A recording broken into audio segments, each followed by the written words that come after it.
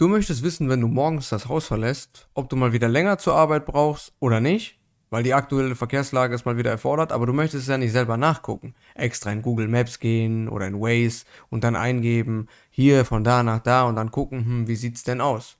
Wäre doch viel geiler, du stehst auf, guckst irgendwo mal ganz kurz, trinkst deinen Kaffee und dann schaust du aufs Dashboard, hm, ich brauche heute ein bisschen länger, scheiße, dann wird das wohl nichts mit dem Frühstück. Wie wir das machen können? Schauen wir uns jetzt an.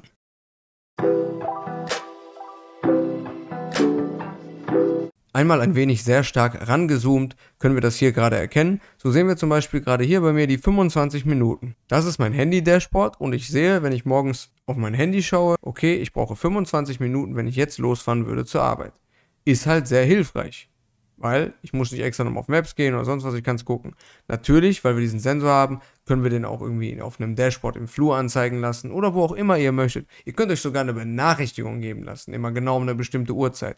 Eine Automatisierung mit einer Notification, du brauchst gerade so und so lange zur Arbeit. Oder du kannst ja auch dann was einschicken, zum Beispiel, wenn du siehst, du brauchst heute länger zur Arbeit. Wenn schon ab 6 Uhr feststeht, ist es gerade Stau, kannst du auch dir eine Automatisierung geben lassen. Hab ich jetzt nicht gemacht, müssen wir jetzt auch nicht zeigen, aber ich glaube, das würdet ihr auch selber hinkriegen, weil so fähig sind meine Zuschauer auf jeden Fall und haben schon genug gelernt, dass ihr wisst, wie ihr eine Notification einrichtet anhand von einem von einer Zahl, dass ihr sagt, okay, es muss größer diese Zahl sein, also brauche ich länger, also Stau, okay. Aber genug geschwätzt, was machen wir denn jetzt hier? Wie funktioniert das Ganze? Wir nutzen dafür eine Integration. Dafür brauchen wir nicht mal den Home Assistant Community Store, soweit ich weiß. Ich meine, das war nicht daraus, oder? Nein. Es gibt aber hier dafür sogar eine Karte, sehe ich gerade. Wir können, ihr könnt euch diese Karte noch runterladen, falls euch das irgendwie interessiert, dann habt ihr noch so ein Dashboard irgendwie, womit ihr was anzeigen könnt, wie lange und wie viel ihr braucht. Ob man das jetzt braucht, weiß ich nicht. Ne? Das müsst ihr selber wissen. Scheint auch nicht mehr gerade so gewartet zu sein mit zehn Problemchen und so. Und es wurde zuletzt vor vier Monaten geändert, äh, geendet, geendet, geändert. Von daher, wir klicken auf Integration hinzufügen, ganz einfach, und haben ja hier drei Milliarden Sachen auch schon von Haus aus mittlerweile. Es ist einfach, es ist mittlerweile gestört, was es alles gibt. Ich finde es aber auch einfach so geil, ne? weil ich würde natürlich über alles gerne ein Video machen, aber ich habe nicht alles. Zum Beispiel, ich habe auch nicht jeden Use Case. Natürlich kann ich hier irgendwie CalDAV, also für Kalender und sowas reinpacken. Aber was bringt mir das? Ich weiß auch nicht, was der Color, was, was, was, was ist denn Color Extractor? Will ich das wissen? Mich interessiert das gerade mal. Was, was bringt der mir? Wir gucken mal kurz zusammen, einfach nur aus Prinzip. Was, wenn irgendwas leiht, dann kann ich mir da die Color rausziehen, oder wie?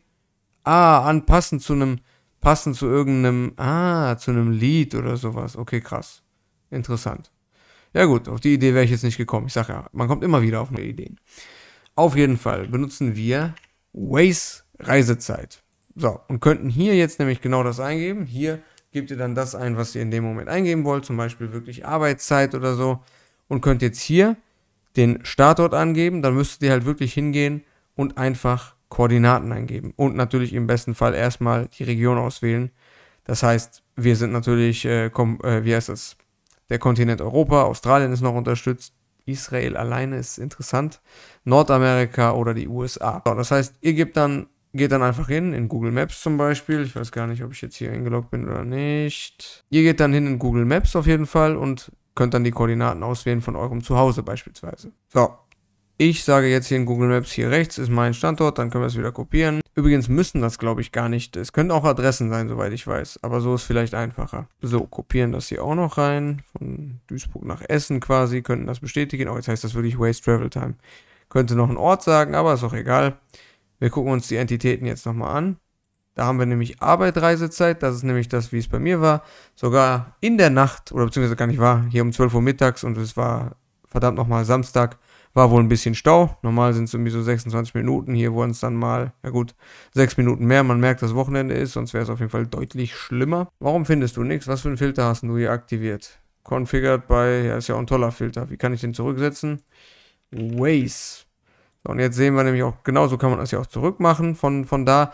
Da steht jetzt zu Hause Reisezeit, ne? das gilt natürlich nicht von da, wo ihr gerade seid, sondern von dem Punkt, den ihr da angegeben habt. So, aber jetzt wäre genau dasselbe. Der Ort, die Orte, die ich angegeben hatte, diese Koordinaten, hoppala, da, von da brauchen wir, genau, nach Berliner Straße Essen, ich habe es zufällig einfach ausgewählt, kann man sich dann angucken. Es wäre eine Distanz von 32 Kilometer von hier, von hier wo ich gerade irgendwo ausgewählt habe, mehr oder weniger echt random und ihr braucht 29, ja, eigentlich, also 30 Minuten könnt ihr sagen. Und ich persönlich finde das sehr cool, das als so ein Dashboard noch zu haben, wie ich euch das ja gerade gezeigt hatte.